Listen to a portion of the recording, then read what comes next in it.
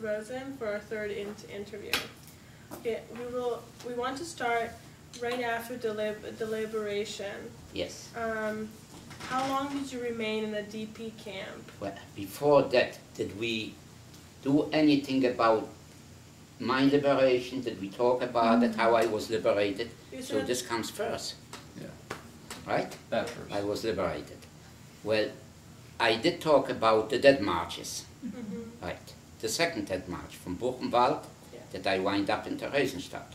So we we came to one place, there were two Russian planes, every five minutes they came over and they shot up with machine guns the locomotives to disable them because they were, ev- so many trains were there.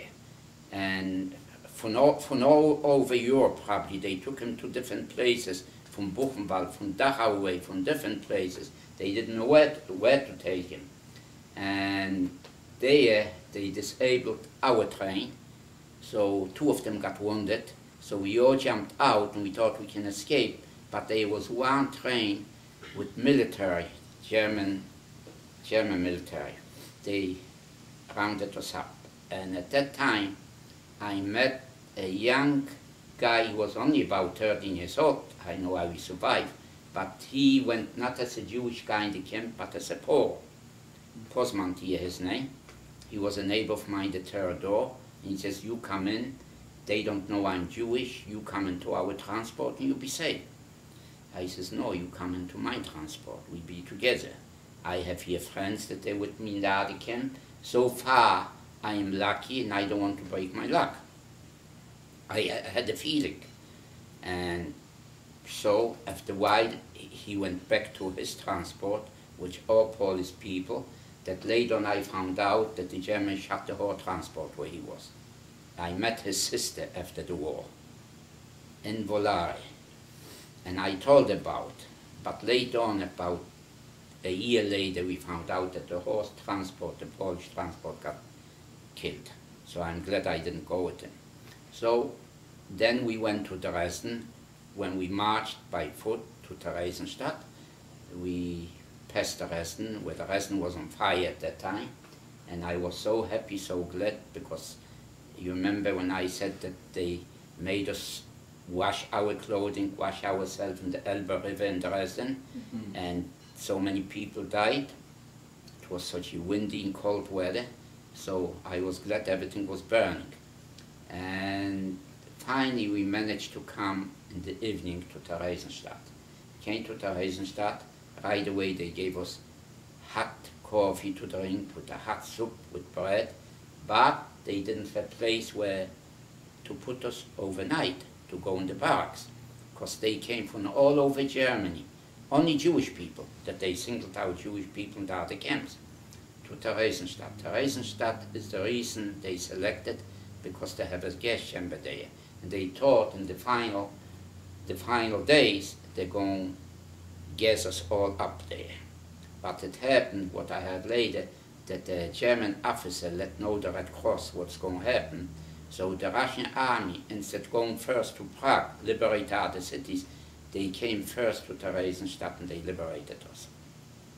Well, I don't know what happened with me because in the next morning they put us to a barrack. I remember I was in the Hamburger Kaserne. They called it kasernes, every, every, not black, but big houses. And we were about 30 people in that room. And a few of them died because they couldn't make it, you know, they died in the room. And maybe on typhus, because it was typhus epidemic. And what I know, I must have jumped out the window because I was in the room when the Russians, the Russians came in. But they found me on the ground. I must have jumped out. Maybe I didn't know what I'm doing. Maybe I saw dead people and I jumped out. And I know I will never know if I was there a day, two days, or three days. I will never know. But what I remember, like in a dream, that I heard some partisans singing like a Russian song. This is what I remember. And when they woke me up was a Russian soldier with a Czech partisan. They woke me up with some word and this. I got up and they took me back to the room. If you want something to eat there, come there, which I didn't have even strength to walk. And I went back to the went back to the room there where, where I was, but it wasn't any more 30 people. It was about 15 left. That's all. They must have died or they took him away. And the following day, while I was arrested, was there one guy, I don't know who he was or nothing, but he must have been a couple. Why? Because he looked so hefty and healthy. And I know how he got out from the Theresienstadt because it was all quarantine day. They didn't let nobody to check. Police were there with the Czech soldiers uh, because they didn't want should spread all over Czechoslovakia at that time. So they didn't let nobody out. And he came back with a horse and wagon, two horses, those Belgium heavy horses that you see in advertisement from the beer, how they drag, and a whole platform with German money. He must have gone to a bank there, which we used it for toilet paper. We didn't have paper. Everybody had diarrhea, you know, at that time. And we didn't have what to go. We didn't eat nothing, but some of them, probably what they ate there from the kitchen, get off the table. I want this to be there. And and we ate sardines, those uh, Portuguese sardines, those big cans with the golden labels, and wine. And we drank so much wine. That's all we had. No bread, no nothing. Just sardines for about two days. And then came in a nurse from the Red Cross, took me there to be examined by the doctor, because they have their a Czech doctor and from the Russian army doctor. And they examined everything. Then he asked me, what did you eat? And I told him. He said, you're pretty lucky because if you wouldn't have the wine, you wouldn't be here to talk to us. This is the worst thing you could do because sardines are oily, fat, and we couldn't take any fat in at that time. The stomachs were not adjusted to anything, but the wine rescued you. So he says, don't do this no more. And they gave me some food. But the Russian army came in with their big field kitchens, what the army ate, with bacon and, and meat. They put so much meat on. And people died like flies. Their stomach was shrank, you know, they didn't eat for two, three weeks. And he here suddenly, so dinner, they just couldn't move the bowels. They, everything was inside shrunk. They didn't. I know from one, a black health that was with me in camp. He just couldn't move for two weeks his bowels. And he cried, he yelled for pain, everything. They couldn't do anything with it.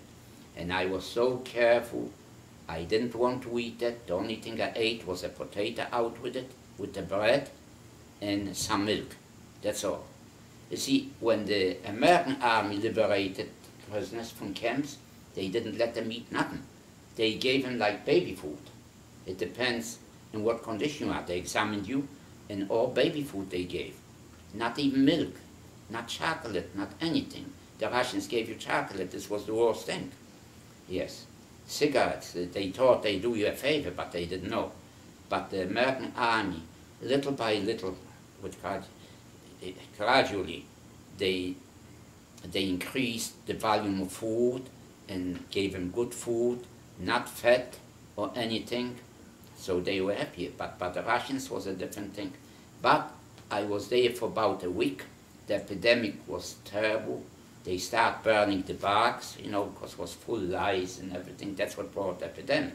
People didn't wash for weeks and slept around the other to keep warm. And uh, and were mountains of dead, like in Dachau. And if you go there to the cemetery in Dresden, you see one grave has 12,000, one has 38,000 people, and a lot of my friends, they were with me camper buried there, I know. Because I saw them there, but they didn't make it. Two of them that were from my city did make, because I met them later in Israel. And and one time somebody was calling me, and I know who, and it was my sister's husband. He was he lived in Warsaw. He was he was uh, secretary for JNF before the war. Yeah, highly intelligent person. In fact, he he was the only Jewish correspondent from the uh, survivors that he was at the Nuremberg trial, and I was there several times because he could take along two guests every day for each session. So my sister went there, my other brother, I went there. And he took his son's passport because they didn't let out nobody there, but he said he's a newsman from the press. And I went out as his son, that I came in with him. So how long was this after the Russians came and liberated? That I saw about after two weeks. After two weeks. after okay. two weeks. What happened every day in Europe from 10 o'clock till 2 in the morning, from each camp that they were liberated were people who were survivors, they mentioned the names. From which city, the name I came. So he heard on the radio, I'm alive, I'm Theresienstadt, so he came to pick me up. So what happened, he took me out, was about 4 afternoon, we went, take what I'm going to take, I don't have nothing, just one shirt, but they gave me a clean shirt, a clean pair of pants, and that's all. Because the other thing, they burned it. It was everything, you know, they didn't want to keep anything what somebody wore, they burned it. I wish I would have my uniform, what I, my pajama that I wore in camp. Because I would given it to the museum, I would have for myself for display, just for souvenir, but it didn't happen. And we had to walk to the railroad station, because in Theresienstadt was no railroad at that time. But we went there to the nearest station, and we came there, they said no train to Prague till the next morning. So we went into a restaurant there to have dinner, and on a white tablecloth with napkins, not paper napkins, but real napkins for material, everything so clean, and I started crying. I Said, what do you cry this? I said, this is the first time years that somebody served me with real hardware on a white tablecloth, like that I'm back a human. I'm not an animal no more. I'm human. So I ate something. Of course, they didn't have meat at that time, but they have knedliki, what they call like uh, what to like kneddles, you know, something like this. Uh, and from, from potatoes with some onions and this, with a good vegetable soup, with a tea, and then we went to bed, and I cried all night long. It was such a clean bed, all white bedding with two pillows, and my God, like a king, I felt. And then I realized that, that I'm back a human being, and I started crying because in camp you couldn't cry. You didn't have the time to think about it, how bad you off. You just wanted to survive. That's all. You didn't think anything. You just thought just to survive, uh, like a wounded animal. That's how you lived all day long. And then I realized where are my parents, where's my home, who, who's alive, who's not alive. And it came to me. Then I had the hardest time. And to a lot of people, which they say this is, the liberation was one of the hardest days for us. Like in all the cities all over Europe, in the United States, in London, they have parades, they have dancing in the street. Uh, you, you saw films. But for us, we didn't have where to go. Didn't want to go back to Poland because we suffered there a lot too. So we came finally, the train came, There was no place on the train. Nothing, thousands of people. And they on the roof. So my brother pushed me up on the roof. He came up on the roof. He laid flat, holding on dear life on the edge there. That's for about an hour. And we, and we arrived in Prague. In Prague we got off, so he took me to the hotel where the uh, Hotel Flora, I think it was. Nice hotel. And there where he was when he came to Prague. And they put all refugees there for nothing. The Czech people were so nice. I mean, not a nation the world would do for refugees out from the camps what the Czech people did. Every corner, every street corner had kiosk with big tables, and it's written České srdce in Czech, the Czech heart, a red heart. You have rolls with butter, with cheeses, with egg, and milk, and coffee, you name it, as much as you want, every corner, because they knew they all came through Czechoslovakia, going back to Poland, going back to Hungary or some. This was the point. And they treated us so nice. While I'm there, at waiting for food, who comes in was a girl there that they chased her out from Czechoslovakia. She was in our city. They were three sisters and a mother. So he says, well, I have my own home now, not by you anymore. like this. He was said, all three survived. Yes, but not the mother. And we were there for a while. In fact, I met there a nice girl, a young girl. She was already 20, 21. She was so happy they used to have a drugstore in our city, not far. Vinograd. And she gave me right address. Oh, she has an apartment in Prague. They gave an apartment. So where to go, she wrote me down which street car, I didn't know how, what and when, you know. Which check, I didn't know Czech. So there was a lady near the streetcar, and I showed her which one to take. They were, I mean, unbelievable how nice. She had a baby in her hand. She took me on the streetcar, went with me, didn't explain to me where it is, to make sure I arrived there, and then I knocked at the door, I met her, she made like dinner, you know what she ever had in this, and then I left. I thought maybe she's a Romanian, I don't know, I didn't meet anymore. And I was there for about in Prague for 10 days. I would have stayed longer, but what happened? In the middle of the night, I slept on the third bunks. There were bunks in the hotel. They didn't regular bed because there were so many people, refugees. Came out a group of Polish women. They were the ones that they walk in the fields. A hefty women, you know, very rough. And my brother and me started jumping down. And they started yelling in the worst Polish language where the heck do you think you going? They got, they wanted probably sex or whatever. They, they didn't know that we are sick. We could hardly walk, you know. Boy. So I ran off. In my pajama, they too open like, but I ran. My brother-in-law grabbed his shoes from underneath and ran away so fast. we didn't go back pick up our stuff even. And I came and I washed myself in the bathroom. So in the bathroom, my brother-in-law was already outside waiting, and comes in a young guy, a redhead, freckled, oh, and he asked me in a nice Polish language, can I loan him the cup he wants to brush his teeth also? The way how he talked, and I saw he's a redhead, freckled, so I knew this must be his son that I went on his passport. Because his son was a redhead, but I never met him because they were in Warsaw we lived in Silesia. Yes, my father went all the time to Warsaw, and his mother, my sister, lived, lived in Warsaw.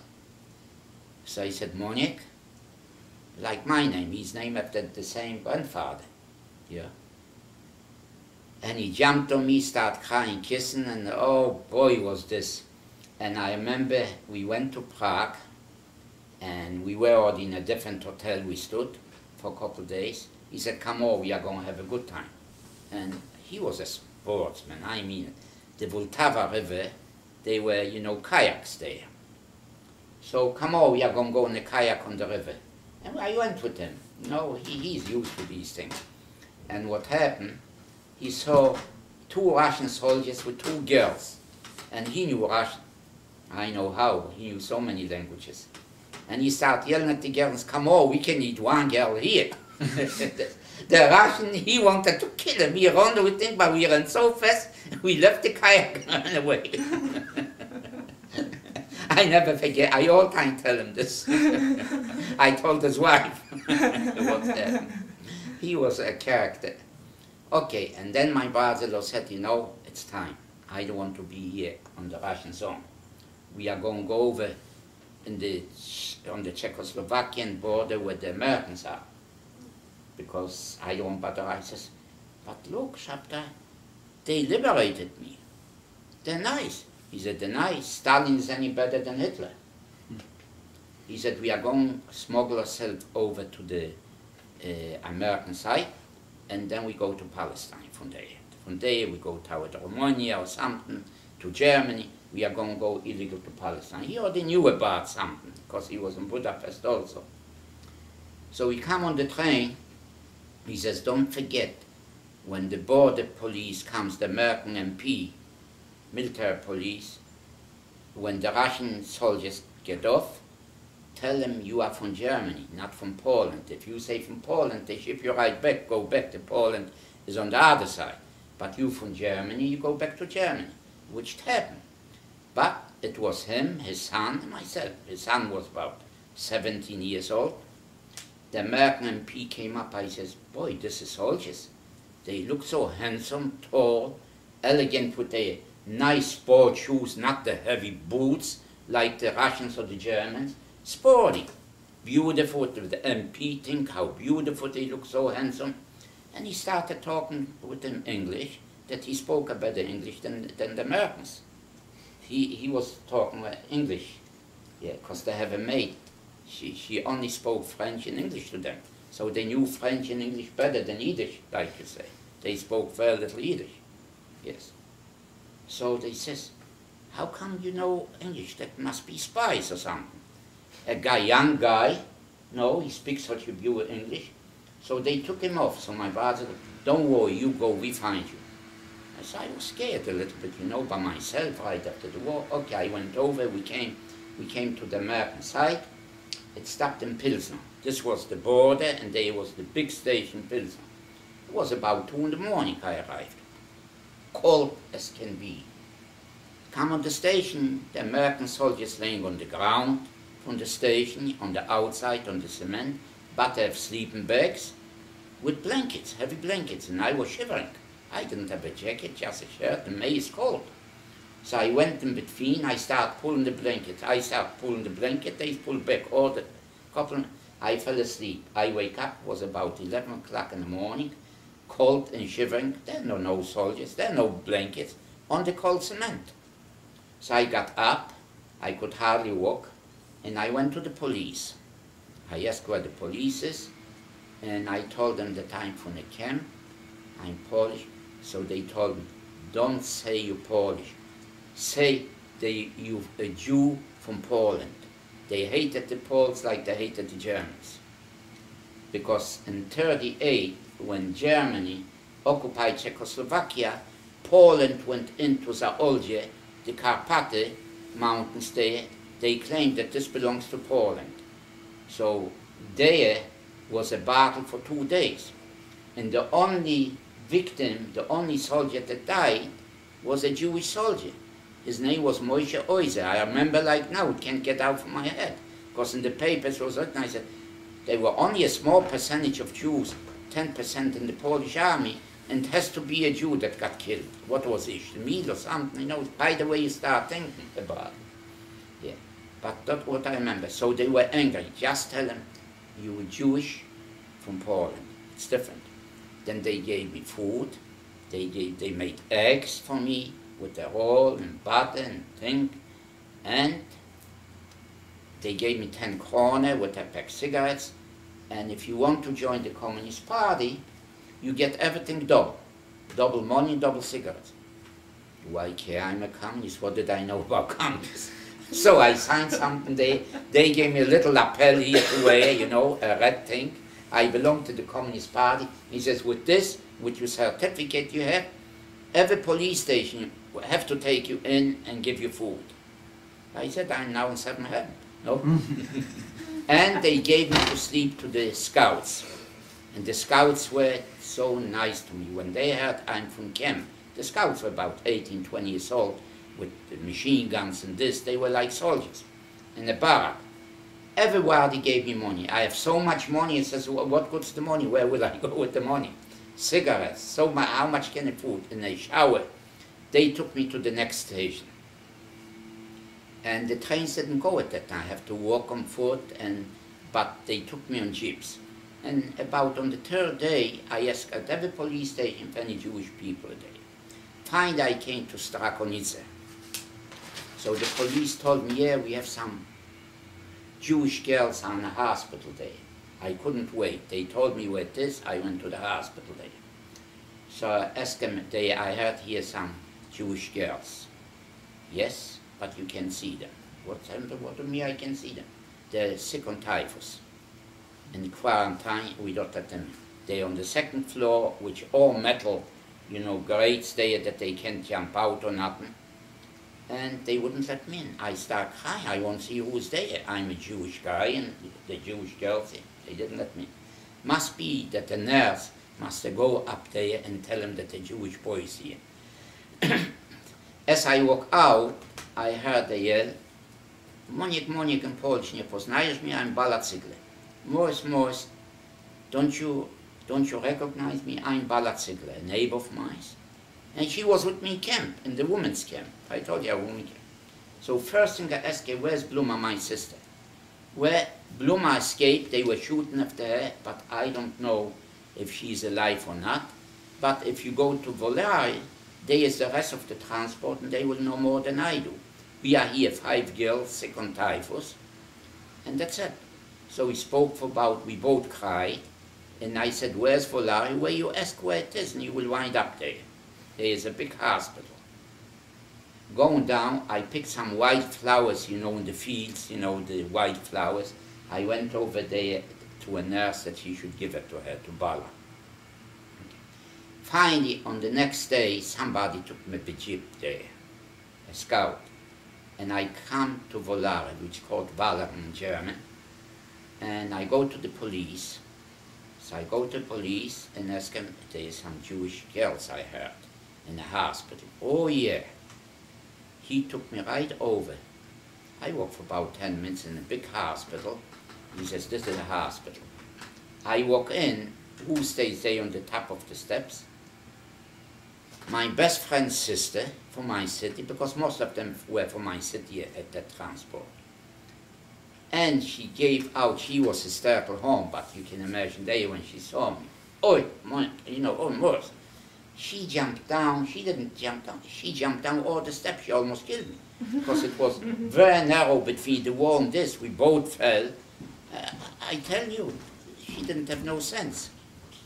And she started crying this, oh, and everybody, she yelled so bad that everybody who was well enough came down running, cool, what is it, what is it? So some of them recognized me because I was with them camp for almost a year. Okay, I went up, I got to know them this, so she took me right away to the cemetery, they wasn't far, and she told me my sister died just yesterday. She didn't make it. She survived, but she couldn't make it. Fella, the older sister, very highly intelligent girl. And they were about 45 graves there, which they couldn't make it. And I was with them, so the first night I didn't have where to sleep, because I just came. So what did they do? They put me down with a 14-year-old girl in the same bed. What's a 14-year-old girl? I'm thinking, who, who thought about it? And the next day, and the next day they put a curtain there, like a shower curtain, and I slept near the window in the same room. So I slept there. I was with them for three months. Yes, they didn't let me go. They, they thought that I'm the only guy alive, the only Jewish guy alive. And for my city, they let me go. And this girl, we became the best friend. Mm-hmm. And, and in fact, her husband, good friend of mine, we talk very often to each other. They lived in Teaneck, New Jersey. In fact, I won't tell her husband I slept bef- with her for, before you did.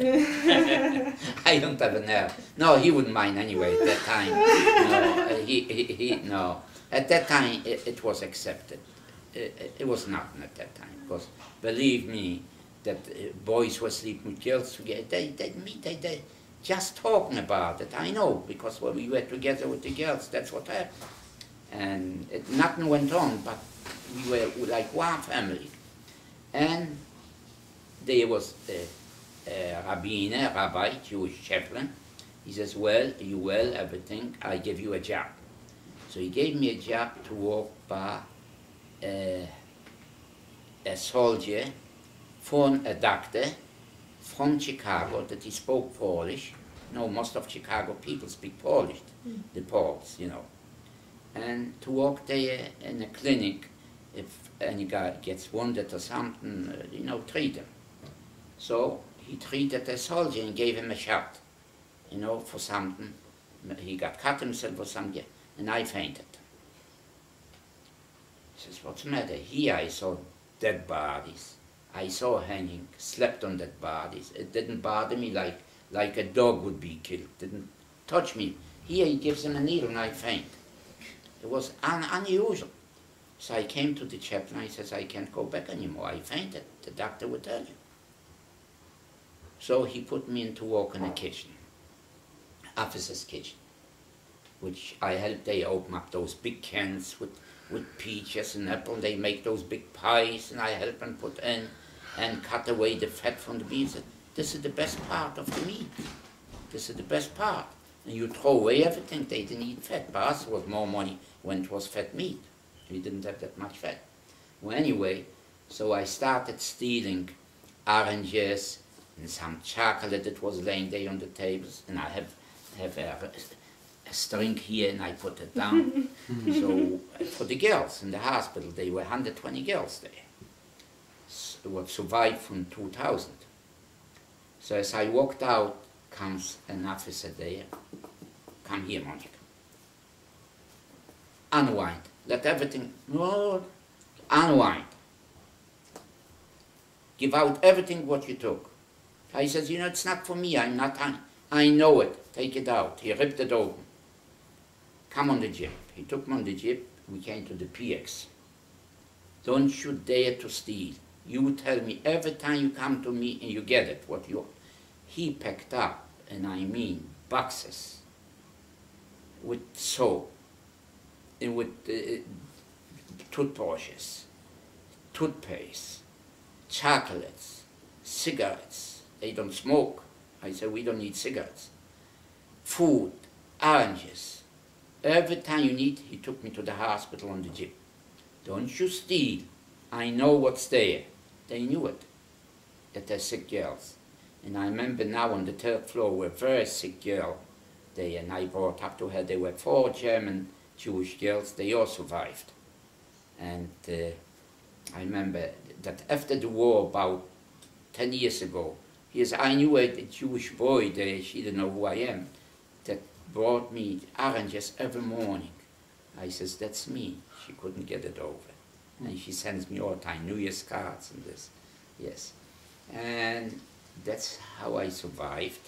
And then came a time after a couple of months that the Czech What year and month was it by the this is 45, in the beginning 45, 45, sure. And then came an order that the American army is going to evacuate because they gave to the Russians all Czechoslovakia back. So they took the girls to Salzburg, which I went with them, because they didn't want to leave the girls with the Russians, but a few of them, they were very sick, they couldn't move them, they remained there. Yes. And then this was the liberation.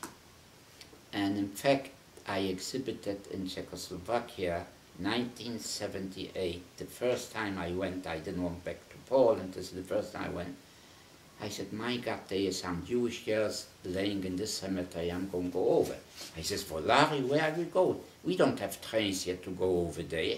You have to take three buses. You got to get up four in the morning because 4.30 leaves the first bus.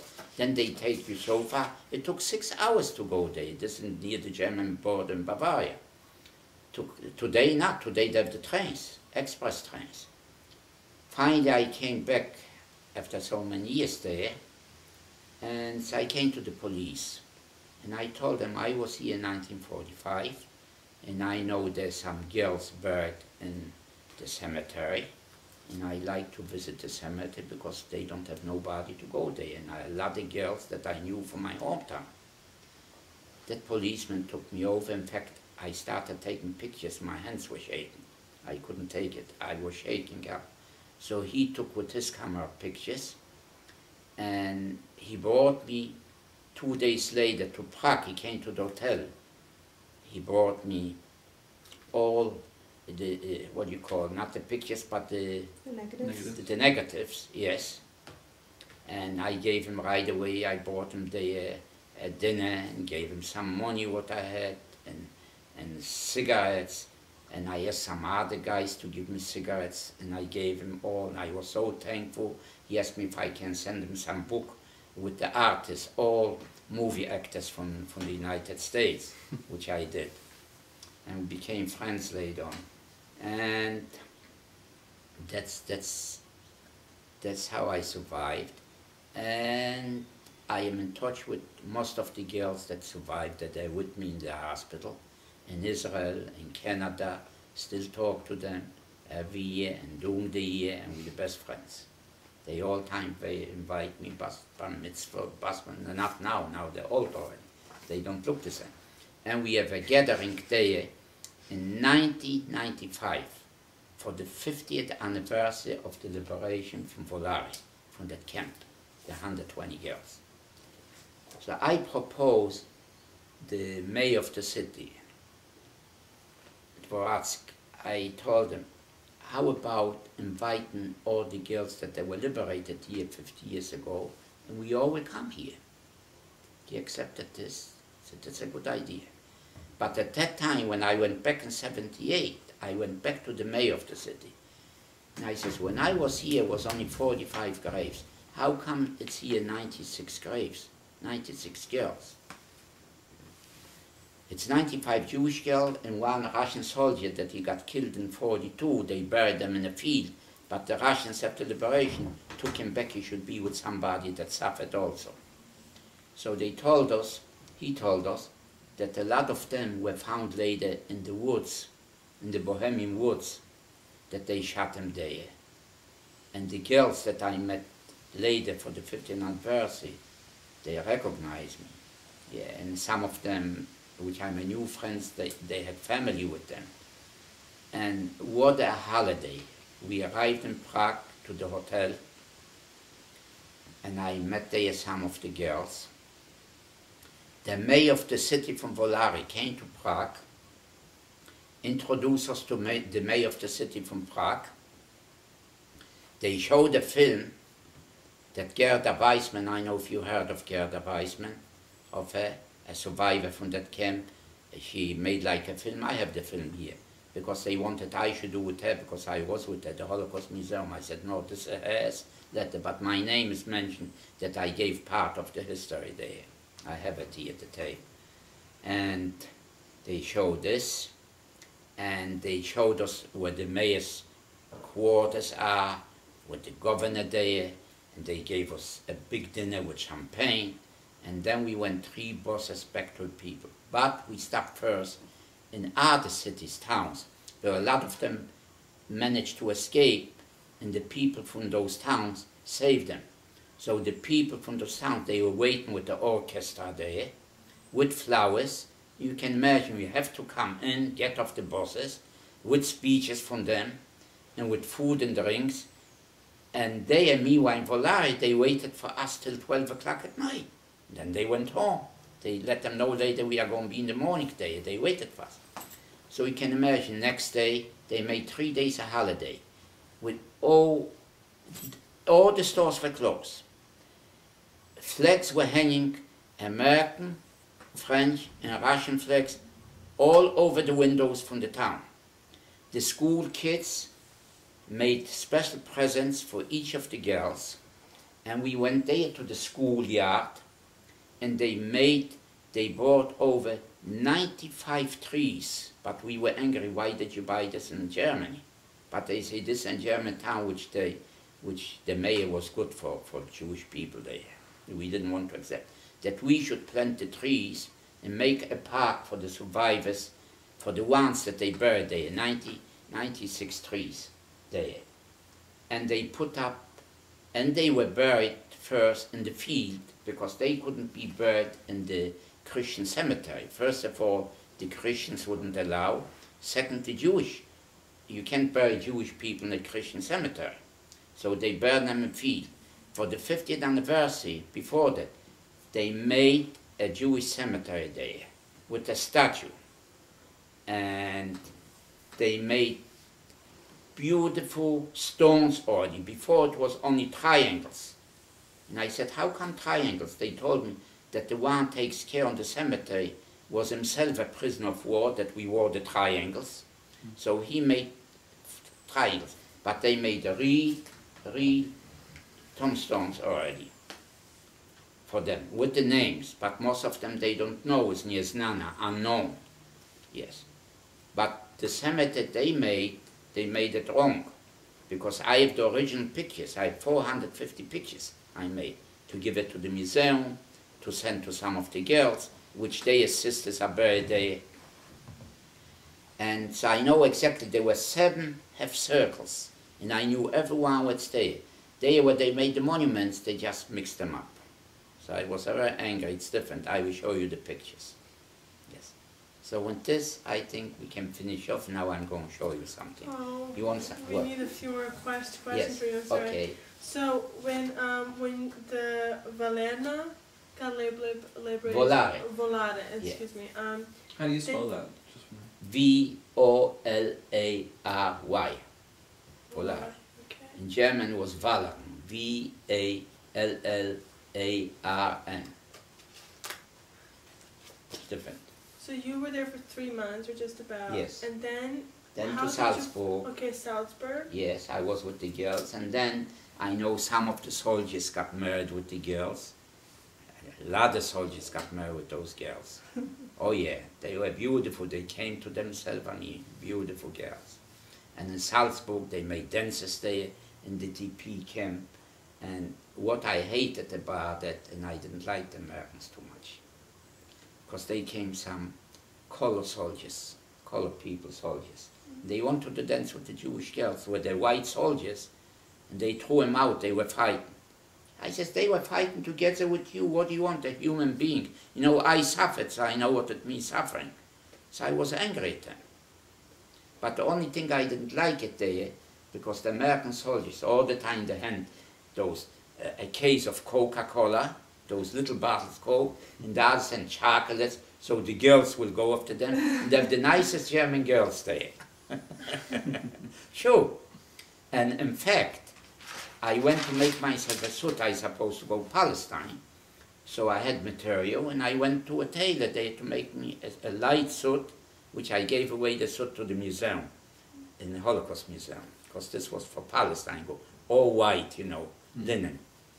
So there I come to measure, the first measurement, sits there his daughter, about 25 year old woman, on the lap on, the, on, uh, uh, on an American soldier, and he wanted to get good with her on her side because she's German. Jude raus. Jew, get out from here. I told me get out. He went and slapped me and pushed me out. You hear? I was there near Cafe Weiss where the Jewish community was. I told a couple guys what happened to me. I was bloody in the nose. They waited for him to come out. It was winter time. We came out, it was about 8 in the evening dark. I thought they're going to kill that soldier. They let him have it. Did They let him have it. And I didn't go back for my suit till a month later. I went back there to make sure he's not there. So what you went to Sal- Salzburg, Yeah, and then and from Salzburg- From Salzburg we went to, went to Germany, to Weiden, because I found a sister there that she escaped to the Soviet Union during the war, and I heard she's alive, and uh, so I went to Regensburg there, and she moved to Weiden, so I moved back to Weiden. Uh. Jesse, can you get out? Or- Yeah. Okay. Because he's going somewhere. Yes. What so. happened to your uh, brother-in-law, your sister's hus- husband? Because Well, he became, he became the only Jewish uh, newsman that he was allowed to go to the Nuremberg trials, Mm. you know, for the Nazis. And I was there seven times. He could take along two guests with him. And I have the tickets. I gave some museums, some I still have it. Yes. And because you got to have a ticket, you know, the name printed out. It's a souvenir. And I saw everybody there, you know, Himmler and Goering, not Himmler, all the, all, all the artists, Danish, every one of them. I saw Hess, yes. And it's the funny thing, it was in Nuremberg, it, Nuremberg, the city was all flattened down. I mean, you couldn't walk by there. Glass, top, brick, they, they damaged all. But where the Nuremberg trials were on, a big, huge building, a whole block long, it wasn't touched. And I went there five years ago, It's still there, the same building. I have pictures I made, everything. Yes. And uh, and then we came to the United States here, What year was that? 1950. But what happened was we supposed to go to Palestine. That was our thing. Because my sister was already in Palestine. She went with the Exodus ship. Mm-hmm. Oh, She was on the Exodus. And my other sister from Russia was also in Palestine, then became, of course, Israel. But what happened, I still have the paper. My best friend studied to be a doctor in Biden, and he went to Palestine, illegal, on the ship through Marseille, yes, and he got killed the first, the minute he arrived, they put him right away on the front in Jerusalem, got killed the first hour. He didn't know any Hebrew or anything. Two of my friends got killed. So my younger brother said, look, we lived through a war. Why should we get killed now? He says, we have two aunts in New York. They send affidavits for us. I says, from Palestine to come United States, you won't be able to come. But from United S- States, you can all time go to Palestine, which is true. Yes, so I'm mm-hmm. here. I had a brother here that he was, he, he lived in Palestine before the war, my oldest, and his wife was from Baltimore. When the war broke out in 48, they burned his store. She was American, American citizen. She had two young kids. So they came over here to Baltimore. They were from Baltimore, so that's why I came here. So Baltimore was the first place you came to. To New York first. So what happened, I stood by my nephew, the one that I told you, uh, I, I came on his paper out from Theresian. And he speaks so many languages that he was translator for General Clark. You heard about General Clark, the, the you know the, the main general for Austria and this, and he was his translator. I have a lot of pictures I will show you with all the soldiers. He knew French, he knew, knew Russian, he knew English, he knew German. So I have the pictures in Vienna where all four, if you see films, you see all the four soldiers from each country, the French, the French and the American and the British, yeah, and the Russian. And he translated every morning, oh, you are going to make me full. Come on, there's a dark pants, but get off, get off from the sofa. and so he translated in all the languages what they should do that day. And then I have him when he gave it, what do you want to fight? and then uh, and then I have one picture where General Clark actually speaks in Vienna in the middle of the market for the people from the Germans and he stays with them in civilian clothes oh, and he translates everything in German. Did you arrive on the boat? Did Yeah. you see the Statue General, of Liberty? oh, sure, General Sturgis. It's what's a funny ride. I think I have the worst of it. Why? Because it was, a, I called it a pickle pickleboard. That's what it was. It was shaking like, oh. So everybody got sick and they started crying about why did I have to come to the United States and die in the ocean? You don't know what the feeling it is when you get seasick. It's the worst feeling you have. You throw up every minute. Mm-hmm. You know when you throw up how you feel. And I was the one smiling and left my ate like a horse. Everybody was sick. I was the only one eating. I had the best food I had. And I, I said, what the heck is the matter with those people? But we came two days before New York. It took eight days. Everybody was well. Then somebody threw up and I got nauseated and I started and I got sick like a dog. And when we arrived here, I saw the statue arriving this, but my head wasn't on. I was so sick. Mm. My two aunts were waiting for us with my younger brother in New York. Imagine we going out from the ship. I was sick like a dog. She wants to go Fifth Avenue buy me a suit with the hat and this. Yeah, right away. No, I don't want a suit now this. I don't feel with this. Okay, she bought me a silk shawl, a white. I still have for souvenir. I even don't wear it. Beautiful. She bought me shirts. Then we sat down, we eat. Now, why don't you eat? I couldn't. So the next day I start feeling, yeah, and she took us after dinner, which I couldn't eat, to Radio City Music Hall. The same evening where I came from the ship sick. And I was afraid I shouldn't snore. I was so sick and tired. My brother Evelyn should don't fall asleep. How couldn't I fall asleep? I, you know, the, the nicer show, this, it made such impression on me, radio city music hall. First of all, the big buildings, tall buildings in New York, right? But I couldn't enjoy. I was too sick to enjoy. And it was a good film. And later on, what do you think she does? After, after going out for Radio City Music, she goes to Lindy's where all the movie stars go for, for cheesecake. she meant good. And next two days, uh, my friend came. So, she, oh, did she made a dinner for us, for my friends. And then she went to buy me a suit. So she bought a suit for my friend too. So my friend was so my, he's like a mother. He went and bought a big crystal that he brought from Germany. what what do you want? Yeah. And um, so, how long did you stay in New York? In New York, what happened? She said, "I will. She will. I be her son. I will, don't walk anymore. You have it good. You walked enough. Uh, uh, uh. I like to be independent because I went to look for a job. She didn't let me. So then I had a brother here. I says, no, I'm not going to stay with her. I like to be independent. What do you mean I'm going to stay by her and do nothing? And here, I came over to United States. I came to Baltimore. So the first thing I did, I didn't know any English or anything. So I went for English first. Number one school on Green Street. Green and something, yeah across the street from where Edgar Poe is buried, the cemetery. Mm -hmm. I don't think of the schools anymore there. Then I went to the Polytechnic, and then I went to the Maryland Institute of Art.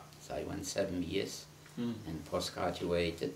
Last year was our alumni, 50 years. So they invited me and we had a nice time there, showed us everything around. And I'm very proud. I wasn't too much I, I, what did I go? I went seven years in school, seventh grade, the war broke out, and my education stopped. I thought I would go to university, college first, university. It stopped everything, and I think this what bothers me the most. Because I couldn't be somebody, I couldn't be something, and my schooling was taken away from me in the best years.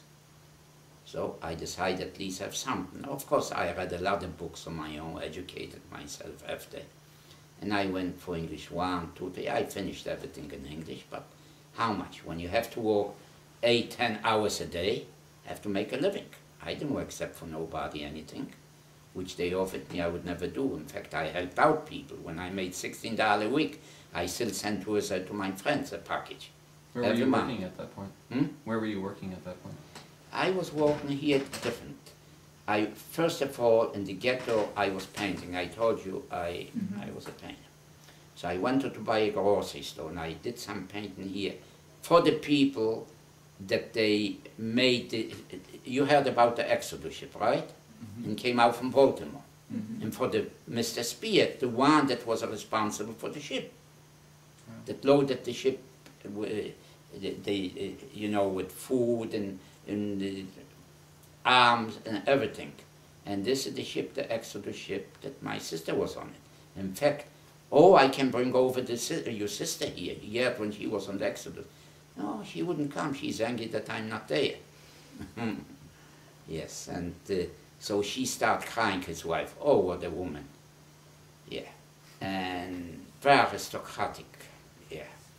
And he says, no, you, you a very intelligent fellow. You will never be able to get married. You go to a grocery, you will walk like, like a slave, 16 hours a day, sleep where, they, where you have the store. And she got me scared. And I had a lawyer already to go into a store. And I stopped. So then I went uh, to the Maryland Institute and became a decorator and everything. So I did combined and I was never listed in the phone book. I have so many my clientele that I just didn't want people should call me. I have too much. I couldn't take it that many. I have enough people, and I didn't want to have 20 people working for me, not, not to have uh, a handle on them, you know. What, so what was the year when you moved from New York to Baltimore? Was in 90, also 1950, because I didn't stay year? too long there. I stood about two months, that's all. And while you went to school and work, did you uh, make it known that you're a survivor of the Holocaust? How did that fit into your new life? It wasn't easy. I was nervous. I went to the doctor twice, three times a week. He gave me pills to quiet down. What do they call? They still use them today. And not only this, later on I was very angry. He gave me samples and he charged me 10 cents for each pill, which this was illegal. But he took advantage. What did I make? $16 a week. I paid him two dollar for the visit. That's what was at that time, two dollar doctor, then five. And charged me ten cents for a pill. Yes. So then after two years I was so nervous and this, so I went to another doctor, Canadian doctor, Dr. Schwartz, but he passed away since then.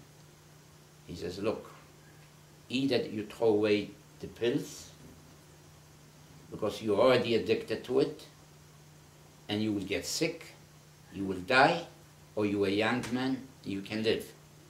Throw away the pills. He took from me the pills, he threw them away. Do you have a hobby or something? I says, yes, I used to have stamps.